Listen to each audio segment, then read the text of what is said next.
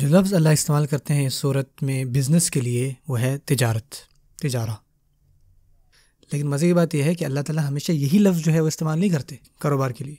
मिसाल के तौर पर अल्लाह फरमाते हैं, या यूल्लादीन आमनु इदानूदी अलसलाती मियोमिल जमाती फ़साउ इला ज़िक्रिल्लाह वज़ार तिजारा। क्या तिजारा कहते हैं?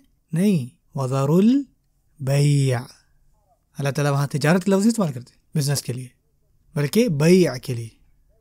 और जो बैया है, उसका मतलब कारोबार नहीं होता। बै का मतलब होता है बेसिकली सेल क्योंकि जब आप किसी कारोबार में होते हो बिज़नेस में होते हो, उसमें बहुत सारी चीज़ें होती हैं।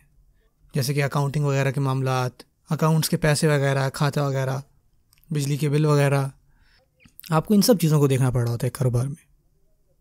और इन सब में सबसे मुश्किल काम क्या होता है? मिसाल के तौर पर अगर आपका कारोबार है, या मिसाल के तौर पर अगर आपने जुमे वाले दिन अपने तनख्वाह देनी है लोगों को और अगर मुसलमान हैं तो आप यही कहेंगे कि टाइम से जुमे पे जाएँगे और उनको पहले से आपको करना होगा।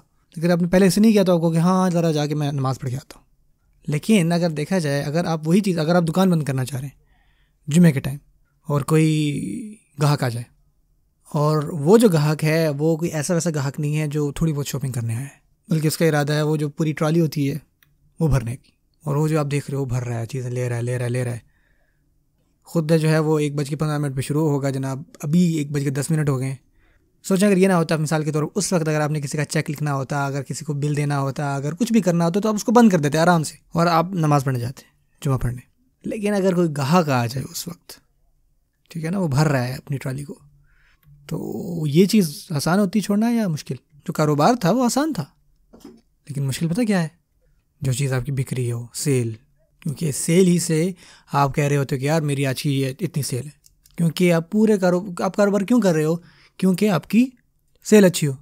लेकिन जैसे ही सेल का मामला आया तो आप कहते हो कि नहीं, रुक जाओ, थोड़ा सा वक्त लगा सकते हैं। नमाज़ थोड़ा सा हो सकता है। मैं दूसरे कार तक पहुँच जाऊँगा। मैं पहले ये ख़त्म कर लूँ, बहुत ज़रूरी है सेल चल रही है। अल्लाह ताला कह रहे हैं, इसको छोड़ो।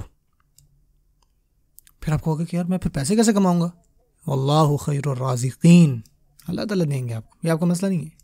अल्लाह ताला ने आपको टेस्ट किया, इम्तहान लिया उस चीज़ से। यही अल्लाह ताला के तरीके हैं। अल्लाह खैर राजिकीन।